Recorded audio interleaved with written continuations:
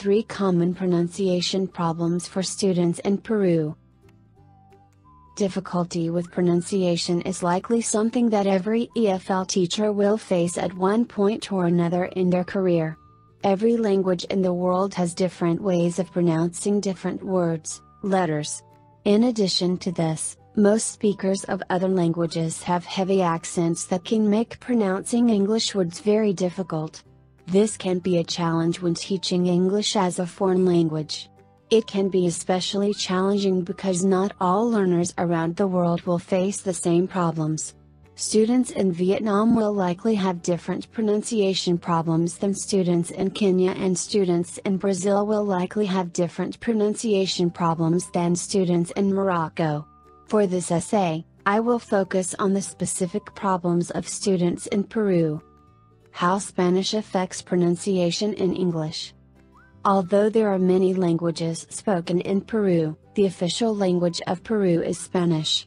I taught English in Peru a few years ago to children and found a few common pronunciation problems. The most common problem that I found was that the students would pronounce every single letter, oftentimes overemphasizing the words. When reading Spanish, you more or less pronounce all of the letters in the word, with the exception of H, which is silent. Almost all of my students at one point or another struggled with pronouncing an English word the way they would pronounce a Spanish word, by reading each letter. Pronouncing a silent T on the end of a word was the most common form of this mistake that I saw. In order to correct this, we did a lot of reading, listening and speaking activities to get them familiar with English language pronunciation. We would often listen to English songs with the lyrics in front of them so that they could see the word and hear it being pronounced at the same time. With younger groups, we would sing songs while reading the lyrics. We also did a lot of practice with reading stories out loud. I encouraged them to listen to English music and watch English television, anything that would familiarize them with the pronunciation. I saw a significant improvement between my first and last class with these students, but this was a very difficult aspect of my experience teaching in Peru. A solution to the TH problem. Another very common problem in Peru was the pronunciation of TH. The sound that TH makes is not common in Spanish and therefore, my students had a very difficult time physically pronouncing this. When we first started practicing pronouncing th, the majority of them were incapable of making their mouths produce the sound. I worked on fixing this by first practicing the correct movement of their mouths and tongues. I told them that we were all going to look a bit silly practicing this, but we are going to stick our tongues out and push the air out to make the TH sound. Some of the students were reluctant so I demonstrated first. The younger classes thought that this was hilarious and had a great time practicing sticking their tongues out to make the sound.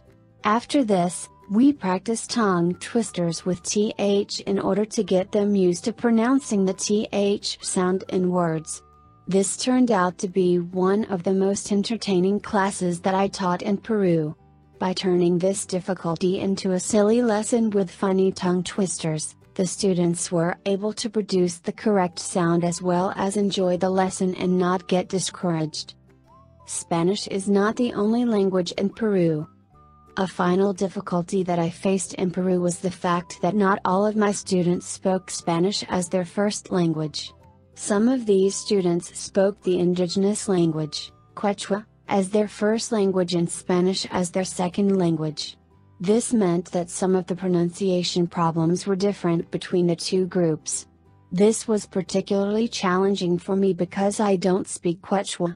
I speak Spanish so I was able to understand why the Spanish speakers had difficulty with certain aspects of the English language, but with the students who primarily spoke Quechua, this was more difficult. I ended up using similar reading and speaking techniques with both groups in order to help with the pronunciation difficulties, but just slightly adjusted the activity for each of the groups so that they would be able to practice whichever aspect of the English language that they were struggling with. These difficulties with pronunciation were not only difficulties for the students, but for me as well. I had to learn how to adapt my lessons based on my students and what they needed more practice with.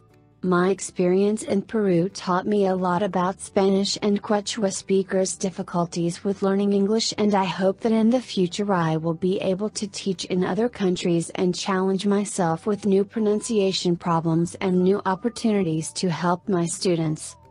Are you ready to start teaching English in South America? Speak with an ITTT advisor today to put together your personal plan for teaching English abroad.